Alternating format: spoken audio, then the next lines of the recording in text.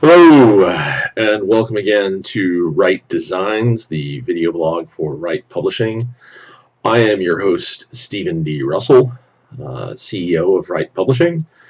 I'm here to talk today about something I get asked a lot. I get emails, I get Facebook questions, I get instant messages, and I could write a book and make money off of this, but a lot of folks helped me get to where I am without, you know, requiring me to hand them money. And while I don't have time to anymore to stop and ask everyone who asks me the question, how do I create my own tabletop RPG company or how do I get my game published?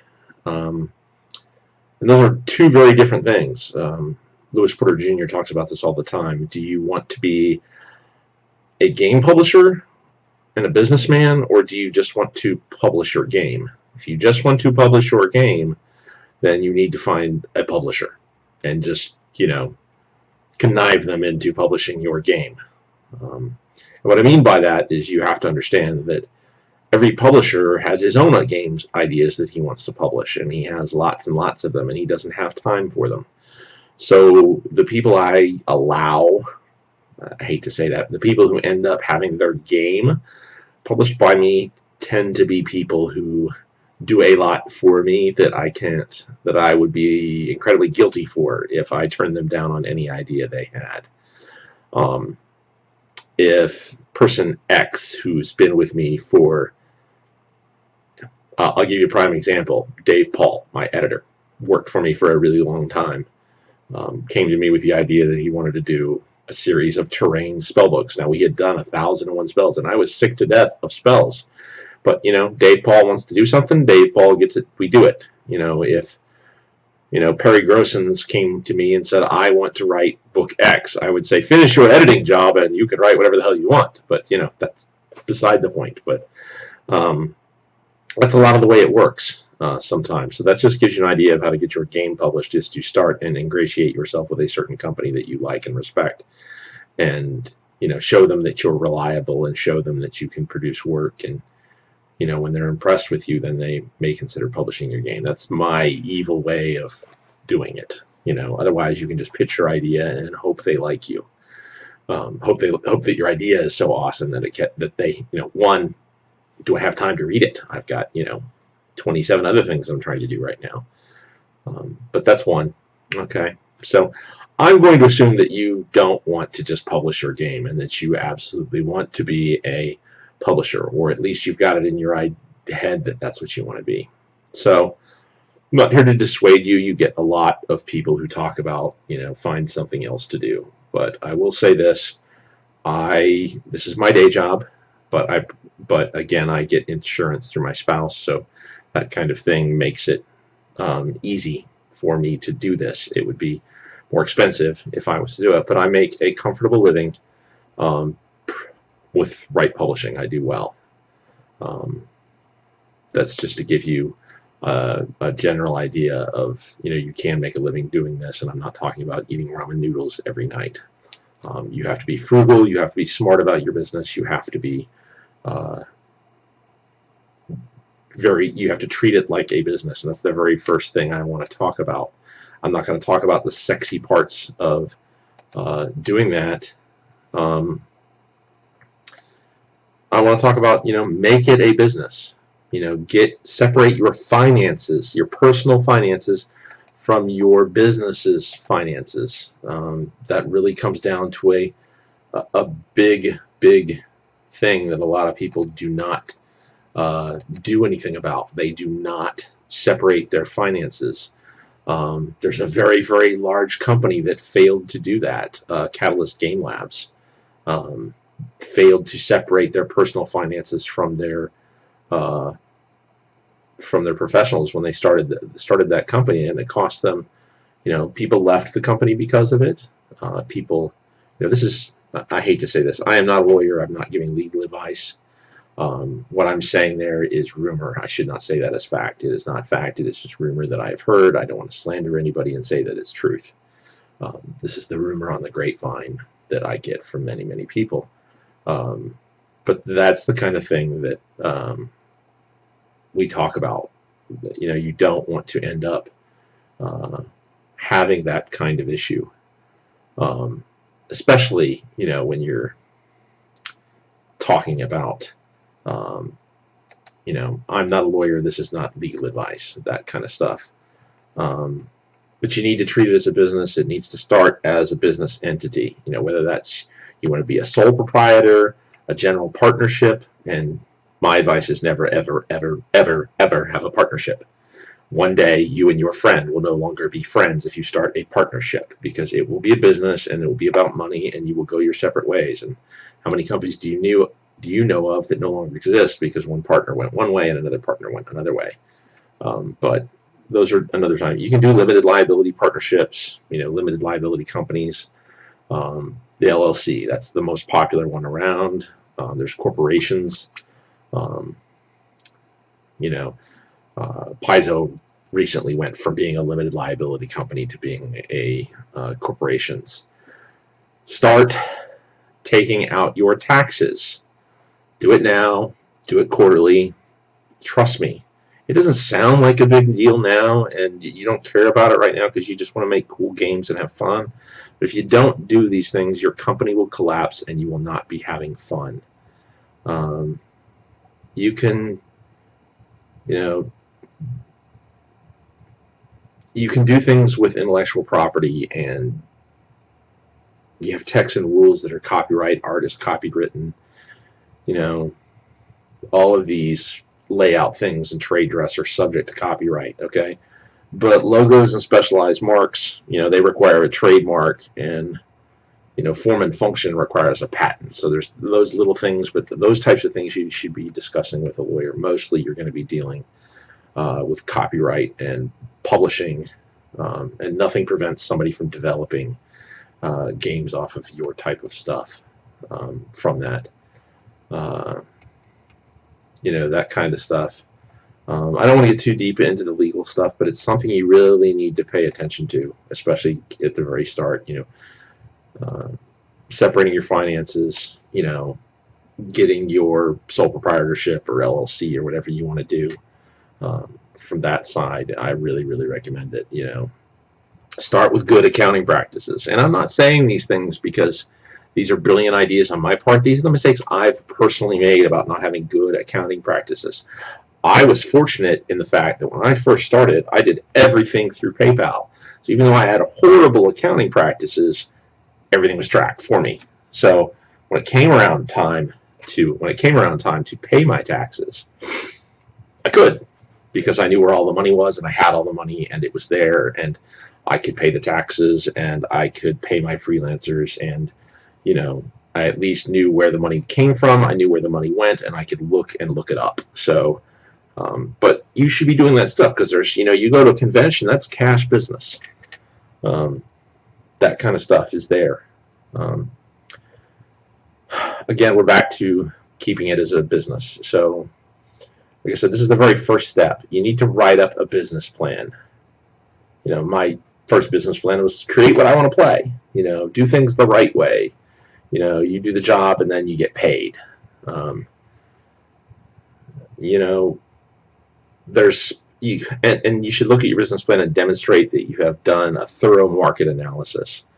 You know, you can look at DriveThru RPG to see, you know, what's selling that week and is and is popular as RPG now. Um, you can look at Paizo's, you know, what top what other companies are they they selling, you know, the top downloads, the top uh, print books that they're selling. Um, Fred Hicks is extremely nice in uh, posting all of his uh, gross sales data so that you can take a look at that. You can look at uh, the sales data for uh, engine publishing. I have one that I did for one of my books in the Company of Dragons. We did the first 90 days where we displayed um, our sales data um, about that particular PDF product that was a bestseller. So, you know, it's there for you to look at. Um, you know, that type of market analysis that you need to do and be sure about uh, what you're getting into so that you know the financials of it. Um, you can look at Kickstarter. Kickstarter's financial data is pretty much plain to see, and you can go look at it and figure out, you know, what money was gathered and you know, you can ask questions about people. You know, this is a really nice industry, and people will answer their questions. Fred Hicks is an amazing guy, and he pretty much gives you a breakdown of how you know how much he spends on shipping and how much you know he spends on you know what he pays people to write for them. Um, you know what he pays to edit and so forth. Um, there's many people out there who discuss those types of things, and you need to do that type of market analysis um, because you need to know what you're talking about um, and just not go into it blindly. These are these are things I've made mistakes on and didn't do. So remember, I'm telling you from hindsight, which is 2020, these are the things you should do. So please, please, if you believe nothing else, trust me in these. Um, you know, include information in your business plan about a need or a gap in your target market. You know, when I look at Pathfinder RPG, when I first started, I saw that, you know, Pathfinder ended its support at 15th level and really didn't do much after that. So our very first big line product for Pathfinder RPG was the Coliseum Morpheuon. It was a high level adventure from 15th to the 20th level, and that's our target market. That's the kind of thing you can do when I'm talking about a, a need or an existing gap. Um, the re- one of the reasons I think our diceless game is so successful is because there wasn't one with active support um, going on, and there still isn't. We are the you know Lords of Gossamer Shadow Diceless role playing is the only one that has constant active support. You know, we release something every month for that uh, product to continue to give support to folks out there. Um, you know, because you need to talk about how you're going to fill that gap. Um, you know, you might talk about um, Numenera. Maybe it needs adventures on the same level as the Pathfinder adventure paths. You know, it doesn't have it. I don't know. I don't. I don't track it enough. It's not something I do. But what is fifth edition going to need if they OGL that? You know, those are the types of things you can be looking at. Um. So why should you listen to me on these little things? So let's talk about you know Rite Publishing. Um, for a minute so that you get an idea of who I am because I don't know how much you know about me. So Rite Publishing was formed in March of 2008. Um, it's founded by me, Stephen D. Russell. Um, I'm the only full-time employee and I have about 50 freelancers. They're all independent contractors. Uh, my relevant work experience before working, uh, I was a manager for a rent-to-own industry. I did sales, I did retention, I did customer service work in the cable TV, internet, and phone industry uh, before I came to be a full-time publisher. So I had a lot of sales, uh, keeping customers coming back. Um, yet you need that in the rent-to-own industry and in the cable TV industry. Um, and customer service was huge for both of those, you know, because you don't keep customers coming back giving you the same amount of money every month unless you're doing your job. Um, that was the kind of thing that I, I excelled at. So I tried to carry that over into this. So um, I hope I do a good job. I hope, our, and you know, we we've grown, so I must say we must be doing a good job. But um, moving on from there, um, we produced the extremely popular Lords of Gossamer Shadow Diceless game. Uh, we have the ENnie award-winning, uh, the Demolished ones for Fate, as well as products for, of course, Pathfinder role-playing game, uh, including some of our big ones like A Thousand and One Spells, Heroes of Jade Oath, and the DriveThru RPG Platinum uh, bestseller, The Book of Monster Templates. I love monster templates. Um, uh, we also produce uh, printable 2D battle maps for Jonathan Roberts' fantastic maps. Uh, we have some printable 3D paper models. We have spell cards. We have character cards. Um, we have the pathways e-zine. We have a lot, lot, lot of stuff. Um, the initial invents, investment for my company was $250. And I think right now we're in the top 1% at DriveThru RPG. The last I looked at their analysis, I think I'm number 20 or 22, depending on, you know, 22 of the active tabletop RPG publishers on DriveThru RPG, so that gives you an idea of, of where I'm at kind of in the industry, as far at least as far as electronic sales of books go. Um, you know, that doesn't count people like Steve Jackson Games and other companies like that that don't sell anything through DriveThru. But, you know, it, it's something to say that I'm there and that, that one of the largest, you know, online outlets for our works, you know, pays attention to what I'm doing. Um, in the past, we've had print distribution partnerships with Cubicle 7 and Chronicle City, uh, neither of which worked um, out real well. My future ideas is to hope maybe to do uh, our own print runs and print distribution partnerships, probably through something like Studio 2 Publishing or PSI as fulfillment houses. Uh, I want to grow the line of Lord of Gossamer and Shadow and get it out to more people. Um, uh, that, that's something you need to do too. You need to describe the nature of your business, you know, and list the marketplace that needs that you are trying to satisfy. I guess that's the best way to say it. You know, explain how your books are going to meet those needs. These are descriptions not just for you, but it gives you an overarching vision. This sounds all silly and businesslike and everything, but it really can help ground you in especially not so much at the beginning, but it can help you come back when you feel like you're losing focus. You can go back and look and say, you know, where are we making the mistakes now? What are we missing? You know, look at the very beginning of where you started and what what's the core values that made things work for you. Um, I, we have specific customers that I try to cater to and and serve those specific types of needs. You know, I want to do. Uh, we were very much targeted in a very, you know, I did Diceless because I felt like the, you know, nobody was serving my needs for for a uh, a Diceless game that I loved with Amber Diceless role playing. I thought it was probably one of the most interesting games I'd ever played, and I didn't feel like anybody was serving that need in the marketplace.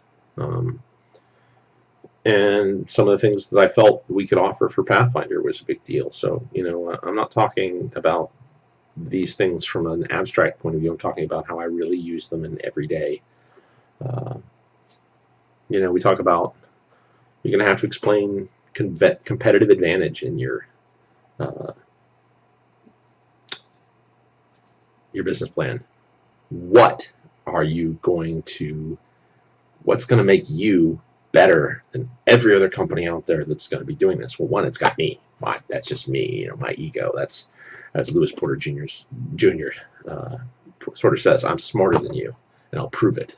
And that's the kind of thing. But um, that's not really how I work. I, am not here. I'm not here because I'm smarter than everybody else. What I do do, however, is I have a really keen eye for spotting talented people, people who are smarter and more talented than I am, and I hire those people. Um, you know, we want those types of personnel that the freelancers that are just experts, you know, they're, the top of their game or really raw talent, you know, that just needs time and honing and uh, becoming amazing, you know, and we try to be more efficient than our competitors, um, whether that's in finding talented artists who are willing to work at the budget that we have set or finding um, ways that we can improve doing things ourselves. You know, whether it's me learning uh, InDesign so that I can do my own layout, or whether it's um, hiring someone like Jason Rainville, a brilliant artist uh, when he was really young and raw and still learning his craft, and now he works for Paizo and uh, Wizards of the Coast. You know, those are the types of things that I really push to try to do is find those people who are just brilliant. Um, and keep looking because you know once you hire them, you know uh, Joe Shawcross uh, did a lot of work for us, and he does a lot of work now for uh, Dream Scarred Press. Uh, Juan Diego Dianderas has done a huge amount of work for us. He's also done work for Louis Porter Jr. Um, that those types of people are out there, and they will come along, especially when they when people see them and see their work. Um, you know, they'll reach out and and talk to them um, uh, you know, look at what made certain other games successful so you can learn from them in your business plan. You know, what made Numenera successful? Monte Cook. You know, but he also had, you know, it, it, it's great to say that Numenera is a great setting and it has great art and it has uh, amazing layout. All that comes from Monte Cook's talent and know-how and time in the industry and all that. You know, it, anybody could have done Thundarr the Barbarian millions of years in the future, but you know, Monte Cook did his spin on it, and that's his talent. What made Kevin Kulp's Time Watch uh, so awesome. Not everybody has to be Numenera, okay? But um, we talk about um, that kind of stuff. What direct marketing are you going to do? You know, for your print and PDF customers. You know, uh, how are you going to sell directly to your to your people? So you're going to need a website. Maybe use PayPal like I do. That kind of thing needs to be in your business plan. You know, what's your plan for Kickstarter? You know, um, like I said, we'll we'll talk more about that later. But you need a plan. Um, you know, what's your plan for using DriveThru? You know, how are you going to make fat uh, a good place? You better research how it works and understand how other people use it. You know, what's your plan for traditional distribution? Do you have? Do you plan to use it at all? Do you plan to just, just you know sell through Amazon? Um, that kind of stuff is very very important, um, so that you know what you're going to do with your company. And all of this sounds incredibly boring, and sometimes it is, but it needs to be a big part of your business plan. You need to think about how are you going to get a thousand regular customers to spend $100 a month on what you do. It's $100,000 a year. But that's gross. You're going to have to pay your freelancers. You're going to have to pay your taxes. You're going to have to pay, you know, production on physical books and so forth. So you might get $50,000 out of that. But that's $50,000 you've got. You know, I don't know too many people who are going to sneeze at fifty thousand dollars and not, you know, pick up the money that's sitting there on the table. But you need a plan for that kind of thing. You know, goals about how you're what what you consider, you know, the first growth of your company. Um, you know, is your goal to sell 100 PDFs in the first 30 days? You know, is your goal to sell 50 in the first 30 days? Is your goal just to sell, you know, one copy?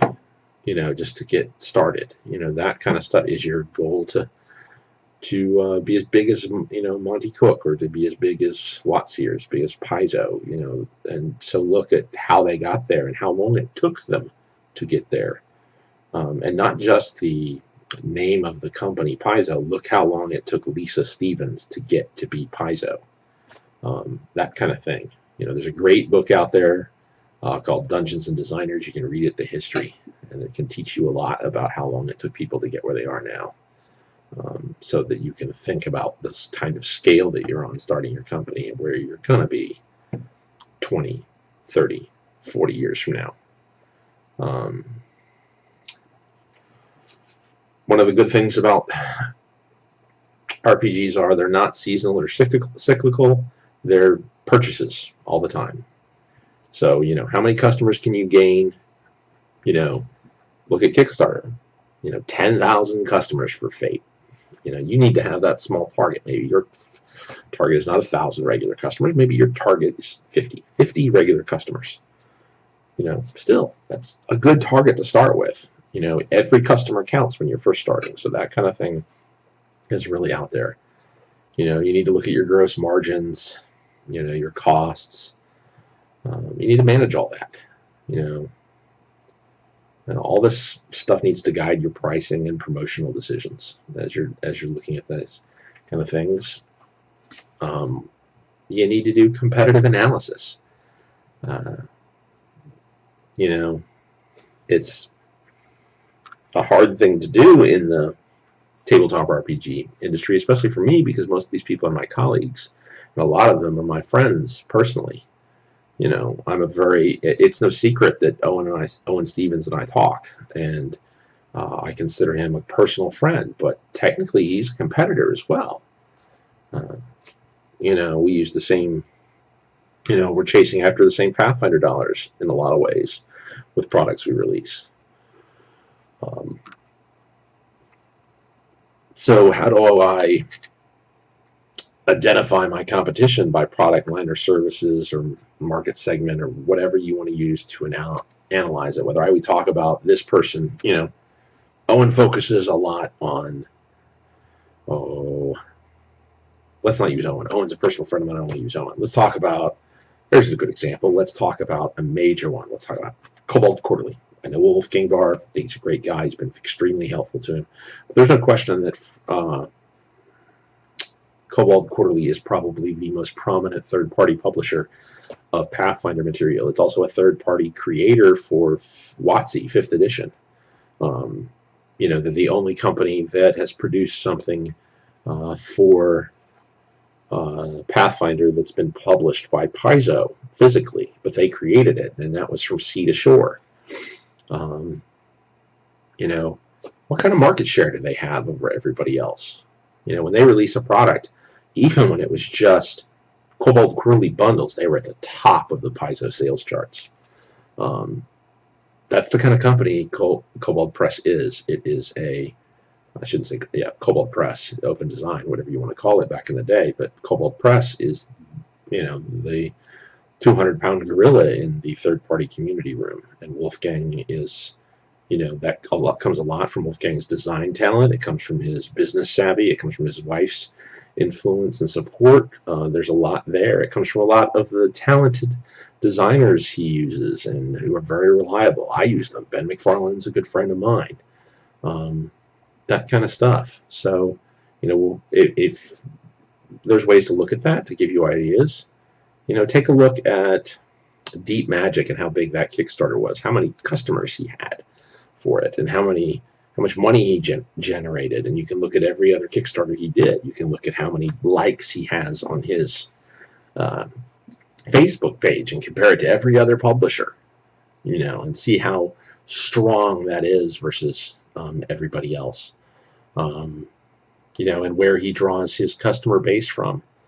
Um, you have strengths and weaknesses that are there. Um, Kobold Press focuses on very high-end, high-quality, uh, larger books. Um, he sometimes does small stuff, but it doesn't seem to catch the fire like his big projects do. Um, and that's something, you know, whether that's that's a tremendous strength for him, but like any strength, you can do something with this. If you do smaller, faster, you know, you can operate, you know, what's the new hot thing this week? It's more easier for you as a smaller company to be more agile and, and take advantage of those types of things. Now, I'm not trying to say that you're going to be the next Kobold Press. I'm just giving you examples of how you need to examine these things. You know, you know how important is your target market to your competitors? The really the best place you want to target is someplace Kobold Press, Rite Publishing, Frog God Games, you know, whoever uh, doesn't care about or is not being served. Uh, one of the great examples that uh, of that is the Way of the Wicked. Fire Mountain Games came in and brought in a uh, great adventure path for evil people. A segment of the market of people who wanted to play evil characters in a long-term adventure path that weren't being served. There you go. That's the kind of uh, folks you're dealing with. And it's a great campaign, and it's really awesome. And Way the Wicked stands is probably one of the most interesting uh, examples of uh, targeting uh, uh, target market uh, when we're talking about stuff like that. You know, Diceless is another one. I can, I can, you know, we had a very specific target of people that I felt weren't being served, and to keep, you know, doing stuff for them. Um, you know, what is your, you know, what are your what are your barriers to enter that market? Well, Paizo, you know, to do support for them, it's, it's getting harder and harder because the market is incredibly saturated. Um, we set a pretty high bar for everybody with Paizo because it's hard to do just you know a cheap black and white low art thing. But you know, then you go and see Raging Swan Press do that. Um, black and white artwork with high quality writing, but you know, limited uh, graphics. You know, compare that to Paizo's top end. So you know, again, how you present yourself can help you get past some of those barriers. You know, and and you can turn a barrier into like what. Uh, Raging Swan Press did. Raging Swan Press, well, we don't know any great artists who can do really great covers for the price that we can afford, so let's just do the Traveller method and put up a black and white cover. You know, it's very simple. This is what we're doing. The name, that's it. You know, here's the logo, blah, we're done. Awesome. You know, um, what's your window of opportunity to enter the market? You know, uh, when is fourth edition becoming fifth edition? When is uh, Savage World's going to stop producing stuff. You know, when am I? What kind of window do I have to produce my vision for a great tabletop game? You know, before somebody else introduces their great version of it. You know, uh, Strands of Fate is a great example that came in with just the right timing before Fate Core came out. Um, with a very generic style Fate game. That that was kind of the, the when you're talking about windows of opportunity. There was a window there. There's a window before somebody else does their thing. So, um, are there any indirect or secondary competitors who may impact your success? Um, we had a guy who was doing a diceless book called Lords of God, Lords of Olympus. Could it have impacted us? Yes. Did it get out to market before we did? Yes. Um, is it a good game? I don't know. I didn't pick it up and read it, but I've had I've I've I've had people say good th good things about it. But it's a single standalone book, and that's awesome. I have a single standalone book with the demolished ones, but that's not what we decided to do. So you need to be prepared. How are you going to be different from that secondary competitor? Um, you know, what's a barrier to the market? You know, not knowing who the quality personnel are to hire can be um, that kind of uh, big impact on you. Um, Pathways was created to give me better freelancers and more freelancers to be able to draw a pool from. Um, I didn't want to always be beholden to a specific artist to one day have him raise his rates because he got cooler or got hired by cooler people or felt he deserved more money. That's great. I believe you do earn more money, but we still have a budget. You know, the Pathfinder market's tough. So that means I have to be very, very frugal with what we do. Now we pay more for art for the Diceless line a lot of times. We don't do as much black and white artwork. For, we don't do any black and white work for the for the Diceless line. That's the kind of stuff that that you know can make a difference for uh, that. Um, where do I find uh, good writers for Pathfinder? Where do I good find good writers for Diceless? Um, sometimes you have to take a chance um, and hire somebody off a recommendation of somebody else and it can turn out disastrous or you know you can shift through a lot of people and shift a lot of sand and find diamonds so um going to talk a little bit more about this but uh, single owner that's my business plan that's what I recommend to you because again we talked about partnerships before um, you can also this some is called a horizontal strategy. Sometimes I call it the conversion strategy. Um, same type of pro products to different users. So we have the Breaking of Forstor Nagar. We have it available for Pathfinder role-playing game. It's a great, awesome adventure. It was written for the Pathfinder role-playing game. It's been sitting there for a while, but it's got awesome maps. It's got awesome artwork. It's an awesome adventure, and I don't think system, especially, you know, I'm the kind of guy who plays diceless, and I play Pathfinder, so I don't think system is as ingrained as what you need. You just need somebody who loves the system and truly has mastery of it. So when we do a conversion, you know, if Patrick Adamansky comes to me and says, hey, Steve, I think it would be awesome to have a 13th Age adventure. And I love that one. It's awesome, and I'd really like to do the conversion. And he's really gifted with 13th Age okay, go right ahead. And then we do the same thing for fifth edition. You know, um, it's a similar style of game, so I think it moves across to that user base. Um, that's the kind of thing you talk about sometimes. Um, Kobold Press, excellent example of it today. Uh, 13th Age of Deep Magic after having done it for Pathfinder. Um, I think Freeport's been done for True 20, Fate, Savage Worlds, it's all over the place. But that's the kind of um, idea you're talking about with that. Um, have a plan for promotions, advertising, public relations, selling to people personally at conventions. Um, have other printed materials that, that help you uh, sell, like brochures, catalogs, flyers, etc. Have a plan. What are you going to do? Are you going to do those things? You don't necessarily have to do a brochure. You don't have to do a cat catalog. You know, it might be an electronic catalog, if anything. But, you know, you might think about it. Um, you know, what it's going to cost you to hand out uh, something like that if you if you reach that size where catalog is necessary. But it can be important. Um, you know, you'll have direct mailings, social media, your website, message boards, blogs, a video cast, a podcast, um, advanced reviews if you can get somebody to review your product, a video promotion, you know, just you sitting around with a group of people playing your game, showing people how to play. Um, you know, teaching people how to play through video video is awesome. You know, it, you know, even if it's just showing people how to make a character. Um, you have friends, fellow, you know, fans, whatever. Those are your minions. Those are your, they can help you sell stuff, especially when you're starting out. Just ask them, you know, hey, can you, what, how, somebody says, how can I help you? You say, hey, just share it on social media. Uh, talk about it in a message board. You know, talk about it in your blog. Talk about it on your video blog. Um, you know, and, and remember, turn your freelancers into salespeople. They are your creators and writers and stuff, and they care more about your product than you do. So they're happy to go out there a lot of times and talk it up.